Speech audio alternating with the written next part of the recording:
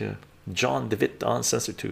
If building an island off Yemen, how does that uh, play with the influence of the China? Uh, they're not. They're building a military base on Yemeni's island, right? As far as China, Russia, Iran, uh, as far as the global majority is concerned, Israel and the United States and Europe are committing, and Canada, Australia, committing suicide. Suicide, really. Look at where Europe, United States, Canada, Australia were two years ago, two and a half years ago, before this proxy war in Ukraine. Europe was doing fantastic. US on paper, anyway, fantastic. Canada, fantastic. Australia, fantastic, right?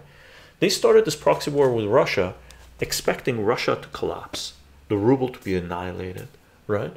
Uh, to people to rise up against the government here and overthrow this government, and then they would put in their own oligarchs in power here. We already know which one it was, right? Put in the old oligarchs, and they would have a field day with Russia the way they did in the 1990s, which was basically loot Russia and possibly balkanize us, break it up, right? Because it's a shit ton of resources there. What happened?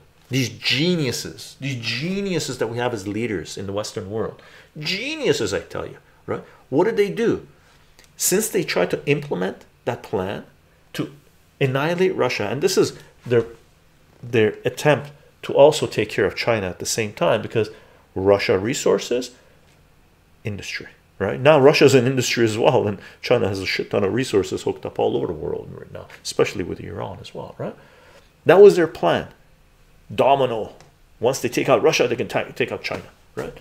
What has happened since these geniuses rolled out their plan right oh Germany's in Russian uh, in a recession Ukraine is annihilated as a country basically population in Ukraine 50% of what it used to be if that right most of Europe now, Western Europe, is economy is just rolling over, about to fucking collapse hard, right?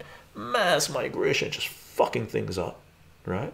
Housing problem, uh, violence up the yin yang, and all that jazz. Same with Canada, same with United States, right? Same with United States.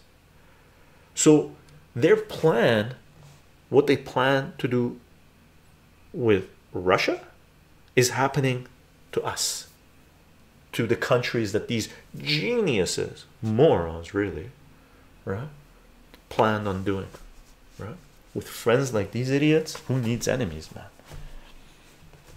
absolutely ridiculous absolutely getting ridiculous. Right